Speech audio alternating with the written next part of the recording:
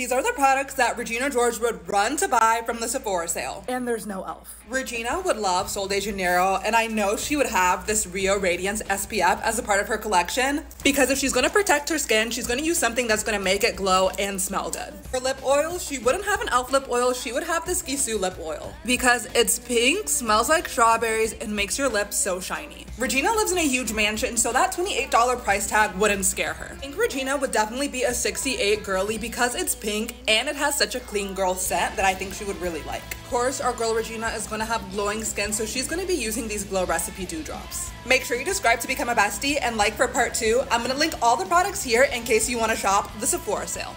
Love you. Bye.